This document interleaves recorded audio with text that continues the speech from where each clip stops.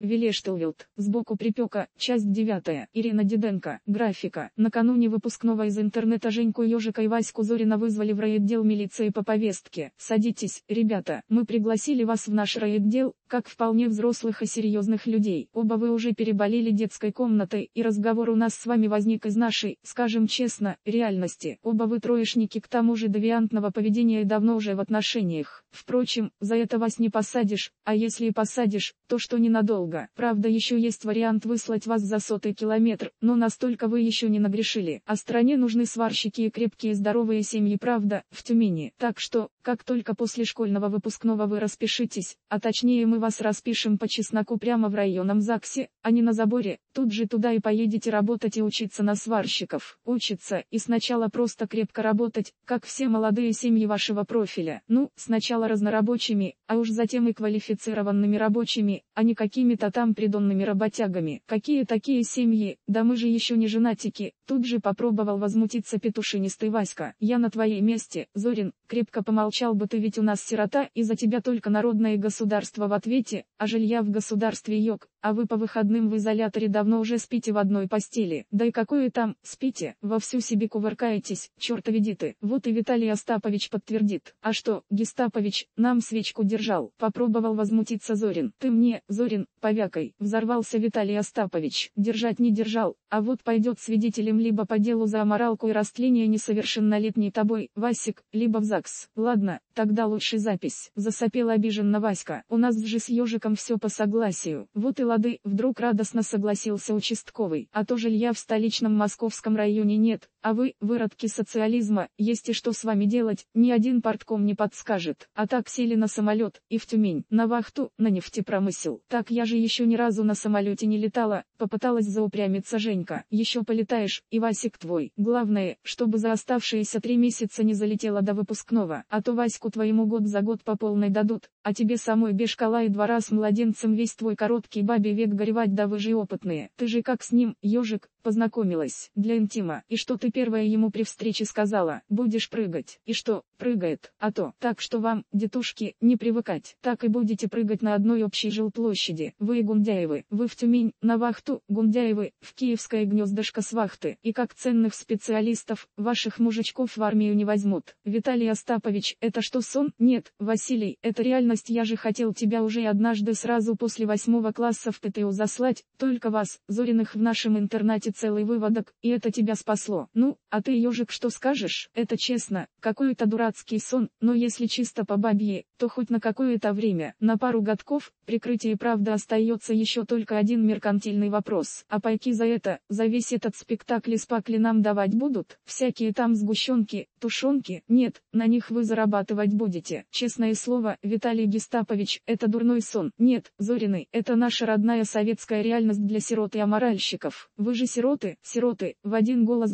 жили оба, и заметьте, что притом еще и аморальщики, оба, свайн, если еще раз до выпускного застукаю вас на выходных в одной постели, Тут посажу, участковый это подтвердит. Угу, тупо сказал участковый, я сам со своей Зинкой и двумя дочками 15 лет по общагам служебным шарис в жизни, как говорит моя Жинка, как в подеде. Кто оступаться, то и в подывод такое скользкое предопорти только вслух об этом не вякать где вякните, там и заклякните, свободны. И, получив подписанные строгим ментом повестки, Васька с ежиком пробкой вылетели из рофт. Дурной сон жизни поджидал их только уже через годы, как и первый вещий сон мелкого, который приснился вспомнился ему в девичьей горенке херсонских посудомойщиц, уложивших мелкого прямо на полу на какой-то давно изношенной женской шубе из цагейки. Похоже, что и херсонские затворницы интерната уже точно не знали, как она к ним попала, а тем более мелкий, которому в уголке казенной девичьей комнатки внезапно приснился сон. Рыжий до половой в волосах своих мелкий был сразу с детства со странно испитым еще в предках лицом, словно иссечен осколками лунного реголита с многочисленными, явно возрастными веснушками-конопушками. С ними в то время он жил, и с ними и по жизни ходил, правда, и уж кида с веснушками было неплохо, но они оттеняли только наметившуюся на его щеках красноватую древнего иудея, сплошь состоявшую из его предков из всяческих канторов, рыбы и раввинов, о которых он, к сожалению, в подростковом возрасте был еще мало наслышан. Эти предки обещал проявить себя только потом, а вот мелкий никогда не рассчитывал на потом и уже с детства напоминал волосами соломенную сельскую стреху давно неухоженного сельского дома. Словно сам по себе он был живорожденной такой себе хаткой в три латки, от которой исходили и хлебный дух и какая-то щемящая далеко не детская боль. Таким и запомнили его и Зинка, и Сонька в ту пору, когда он впервые к ним заглянул на часок в пустое послеобеденное время. Да, то действительно действительно был мальчишка, который внезапно стал сиротой и был у всех на слуху и юные поварихи его тоже жалели, предлагая полузгать вместе с ними семечками прямо из херсонских подсолнухов. За это он стал приносить им всяческие модные журналы, чаще венгерские, но случались даже и финские, источник которых мелкий не раскрывал. Принес, дал посмотреть и тут же унес, взбудоражив всячески девичье воображение подневольных интернатовских стрепух, которые чаще всего горбатились на интернатовской посудомойке взамен же он получал свой уютный и теплый уголок на полу нарваной цагейковой шубе, где он снился себе вечно рвущимся на свободу древним барским холопом. И тогда, во время сна ему все время казалось, что за ним все время рвались разъяренные хорты, тогда как сам он стремительно пытался добежать до ошкуренной сосновой перекладине, вырвись за которую, он бы вновь оказался бы в неком невероятно плотно востребованном времени и пространстве, где для него были уготовлены всяческие невероятные роли, но, не добежав до перекладины огромных размеров, он так и просыпался маленьким пристыженным человечком, в висках у которого только и звучало «Эх, ты!» И тогда глаза Кольки Чмыхала начинали слезиться, и тогда только огромная Сонька да вьюнотилая Зинка почти по-матерински обвивали его своими сервисными телами будущих блудниц, а затем они просто шли пить слабый цейлонский чай, и мелкого попускала.